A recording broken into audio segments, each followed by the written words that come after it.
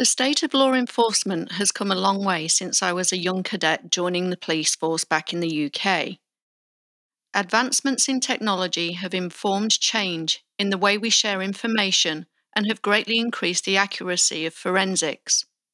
Unfortunately, these advancements haven't helped as rapidly on the one issue I've spent my career exposing corruption. This week, I'll be talking to my friend Chris, a former career criminal, about some of the most unbelievable acts of police corruption that we've witnessed over the years and how technology has completely changed how we operate on both sides of the law. From Storic Media, you're listening to Codename Siren, a true crime podcast with Nina Hobson.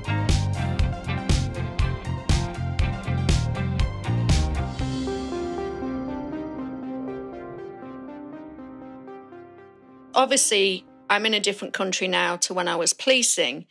And I, as you know, I was really, really proud to be a good cop. And I'm really, really anti bad policing hence why I had the experiences that I did. But moving to LA, it's been a whole different world. Or moving to America, and I'm involved in a couple of things now where I'm seeing very clearly corruption, which is something that I have heard about being in the UK, you know, the American police force, it's corrupt, it's this. And I was like, hell, it's not, no different from anywhere else in the world.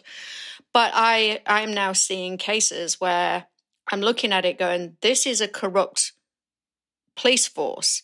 And then I look at the training and the recruitment, and then it's like, is there any wonder it's a corrupt police force? And I don't know whether you're aware of the big thing that happened in LA where there was a police gang, and you know, you had to have your tattoo and to be allowed to be in that. And, and I'm like, how's this even possible? Like, we're, we're talking about a police gang and it's allowed to happen. If someone knows there's a police gang. How's it still in existence? I mean, again, I stand by the the British police that it's a whole different level. And in fact, you know, one of the really sad things for me was when my daughter said, "I don't ever admit to anyone in America you're an ex-cop." And I was so proud of you being a cop in Britain. I don't admit it to anyone because everyone hates cops here. And that was really sad for me, that moment. But I mean, you've been backwards and forwards to America you've been involved with police in different parts of the world. What are your experiences of corruption? So, first of all, with the states, I mean, yeah, what you've just told me doesn't surprise me at all. Um, the, the cops in the states, I mean, the, the experience I've had, they do seem a bunch of fucking bullies. There's no accountability. Just because they're some fat fucker with a gun and they've got a load of people backing them up, they're a law unto themselves. I mean, obviously, the George Floyd incident was just one of many, many, many examples of them doing exactly what they fucking want. You've got no time or respect for them at all. With the, British police force, again, no respect for them. Um, I mean, I caught them, I've actually caught them falsifying evidence and faking forensics. And I know they did it because I committed the crime myself and they fitted some poor sod up. I want to hear all about that, and then I have some really good questions for you about that. Okay, so the whole incident was um, this was an insurance scam. So the scam was I took out an amazing insurance policy on my house. I left it a couple of years, and then two years later, my house gets uh, gets burgled.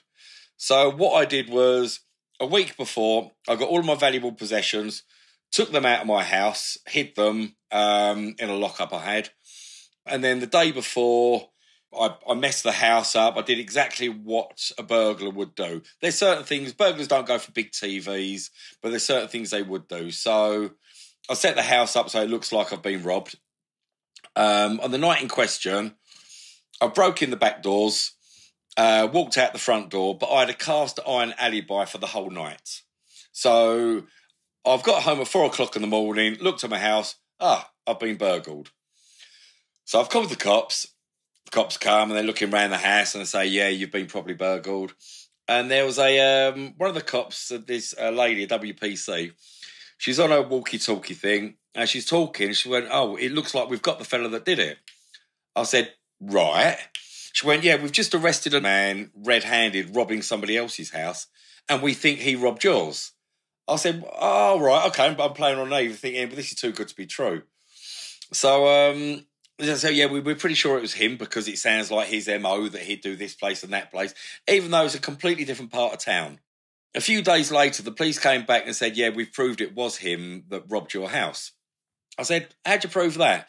They said, well, he had these little bits of white paint on his jumper, and we took paint samples from your back doors uh, and matched the forensics up to the paint samples on his jumper and proved it was him that broke in the back of your house.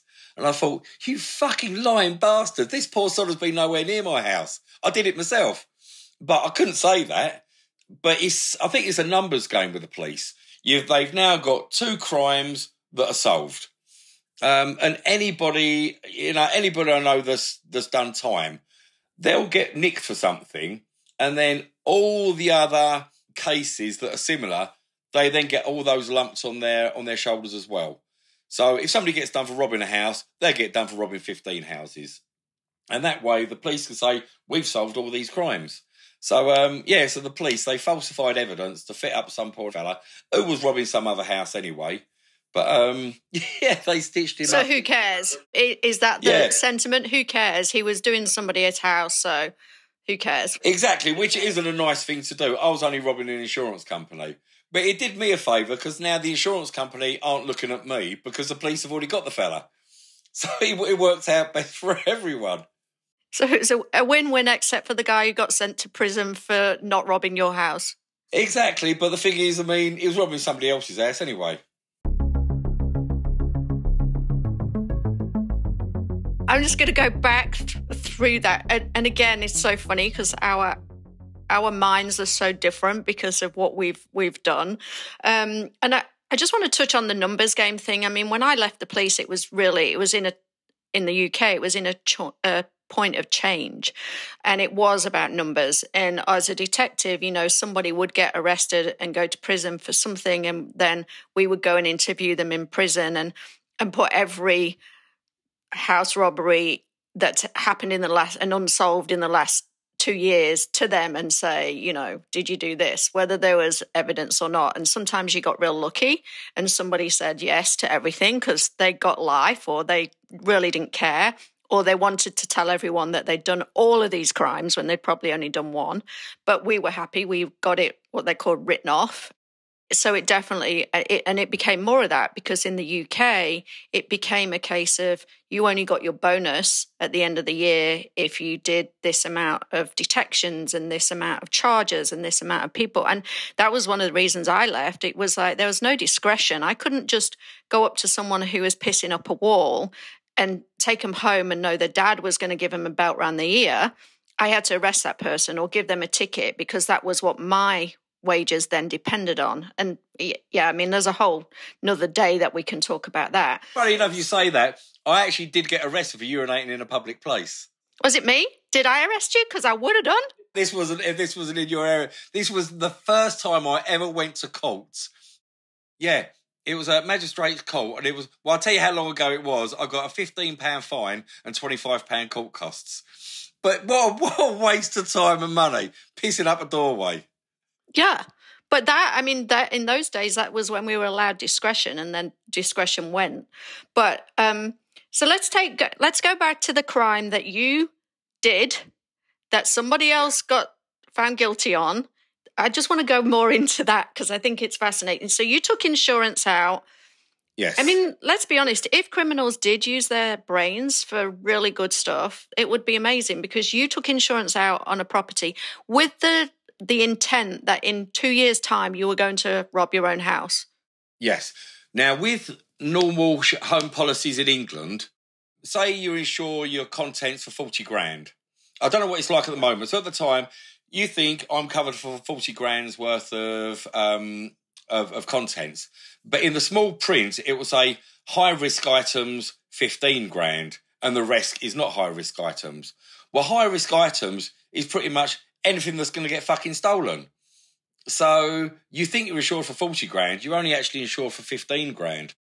Okay, so I had I had a policy taken out, so my high risk items was a lot higher. Also, the things that got stolen was just really random things that wouldn't be um, high risk. I also had a beautiful, very expensive gold diamond ring that I had a valuation on uh, that got stolen. The ironic thing is, this ring has been stolen three times. It's never existed. There was a jeweler that I know, so I'd pay a dodgy jeweler to write me up um, a valuation on um, on a piece of jewelry that doesn't exist. Take out a special a special clause in my insurance policy saying saying I've got a very expensive piece of jewelry. Here's the valuation, so that gets added to it. So um, yeah, so that was the policy I took out. So it was a higher high risk, and it had this special piece of jewelry in it. So it's it's kind of I mean it's a sophisticated thing. I mean it was premeditated. It was planned to the point of you know finding the dodgy jeweler, and obviously I say that, and that's not that hard in the world you live in. Um, looking at the insurance policy, knowing how it all works, and then um, saying, okay, I'm going to do this in a couple of years' time. I'm not going to take a policy out now and do it tomorrow because then somebody's going to start asking questions. So there's a lot of thought gone into this. Um, was there any thought gone into what if I do get caught? What happens there? I mean, it's insurance fraud, but with your background and other other things that you'd done, did you ever think, "Oh, I'm going to get caught," or or was was your mindset totally well, I've got this. The police are dickheads. Uh, at that at that incident, no, I was. It was funny um, when the police turned up. I was.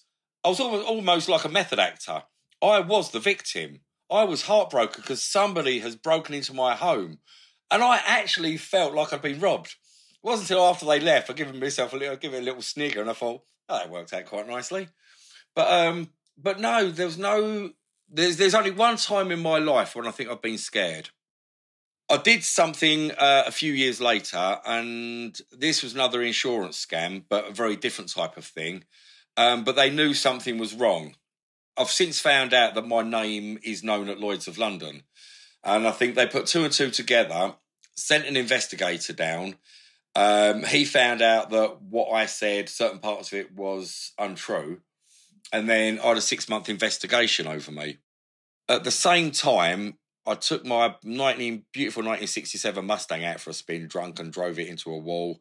I got chased by the cops. I managed to get away from that.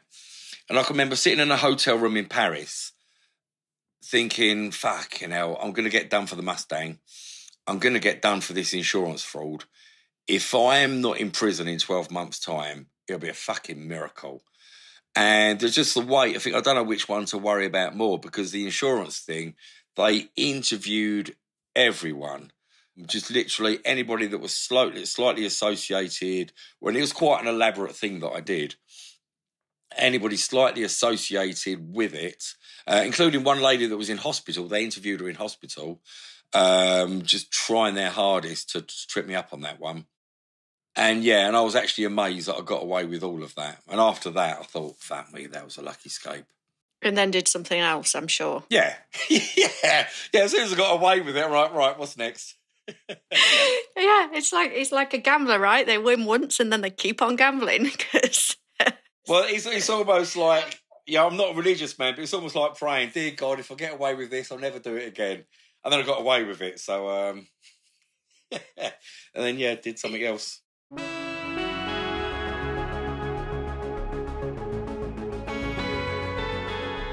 I want to just go back to that first one. So, um, you said that you made it look like it was a burglary because you understood what a burglary would look like. I mean, somebody like, I don't know, who hasn't had my background, I understand what a burglary scene looks like. I understand what a murder scene looks like, and because that's when I have to start investigating.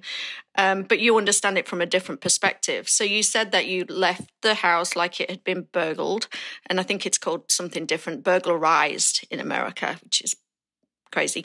Um, and you didn't take things like TVs and what I mean was that because you didn't really need to because you were going to claim enough stuff anyway. No, because if somebody's breaking into your home they want to be in and out. They don't want to be lugging big. And in these days, TVs weren't the small little slimline things; they were quite big things.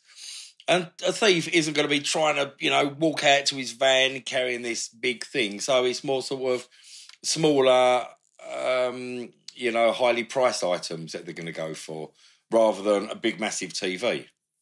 And and so you said that you had a cast iron alibi. Is there a, lots of thought that went into that as much as into the actual crime and you know the the premeditation of that? What was your alibi? And how hard was it? I can't say what, what my alibi was, but it was just 100% so cast iron because I was in this place and I'm on loads of cameras in this place. That was my next question. Was this like, I mean, the days of cameras because that's changed everything. It, yeah, it is. Yeah, I mean, what what I did, I could never do now. Why? Right. Remember an hour ago when we were trying to work out how to fucking have a Zoom meeting, and me and you were sitting there like a couple of fucking idiots, um, trying to download shit and work out. Oh, he says download. How do I download stuff? That the whole world is completely different, isn't it? Yeah, it is completely different, and there's a reason you have kids, right? So that they can take you through the technology. Or allegedly, but mine are useless too. But uh, but talking about that, crime has changed, obviously, and I I talk a lot about scammers because there's so many scammers, and for me, obviously, personally, on a dating app, the dating app, app scammer is the thing that jumps straight to mind. But I mean, what uh, interesting as a criminal, what effects that's had on on you and what your thoughts are now. Fucking technology. It's put me out of work. Yeah, I wouldn't. I wouldn't have a. I wouldn't have a clue where to say. I mean, my you know my computer knowledge is I can go on Facebook, I can send an email, and I look at porn. That's pretty much it.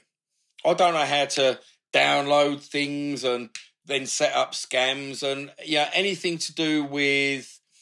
I mean, banks and building societies now they put a lot of you know, money in fighting cybercrime.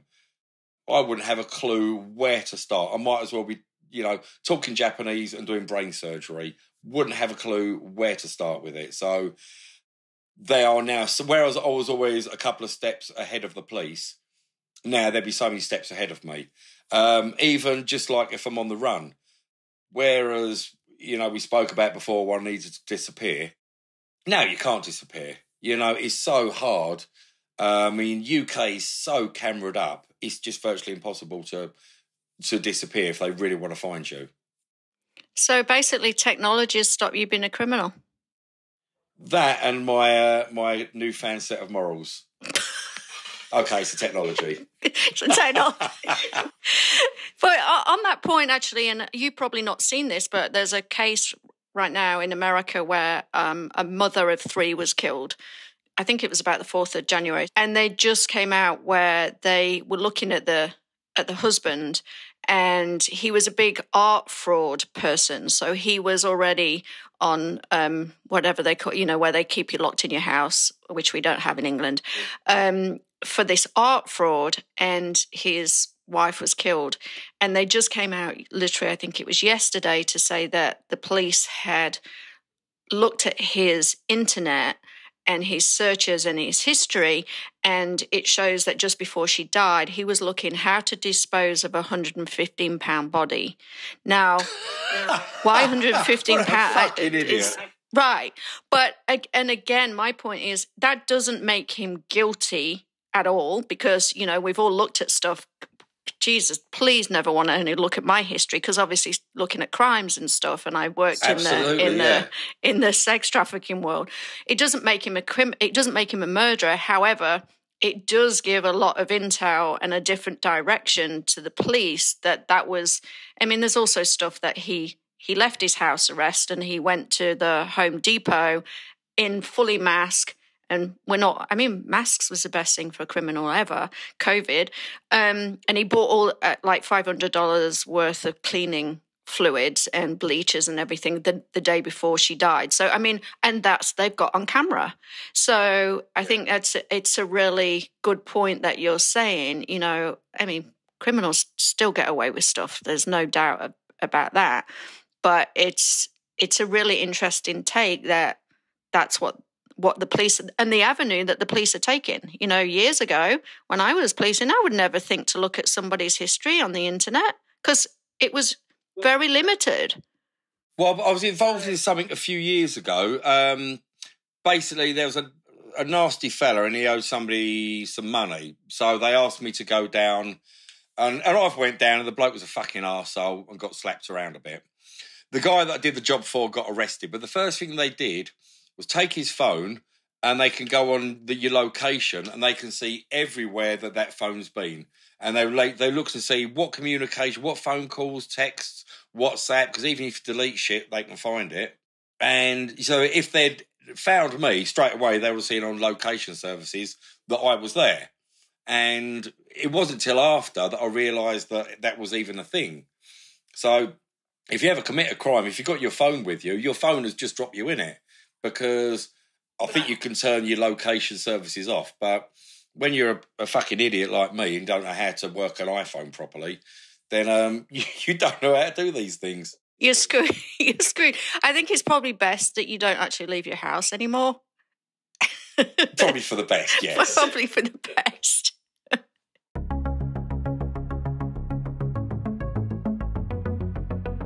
It's encouraging to know that advancements in technology have made crime much more difficult to commit than decades before. We hope it also brings change to how law enforcement hold one another accountable for their own misconduct. Our plan is to continue the dialogue on police corruption and encourage others to speak out and tell their stories as well. Because without exposing the corrupt individuals involved, we may never see the much needed change. Until next time, I'm Nina Hobson, and this has been Codename Siren.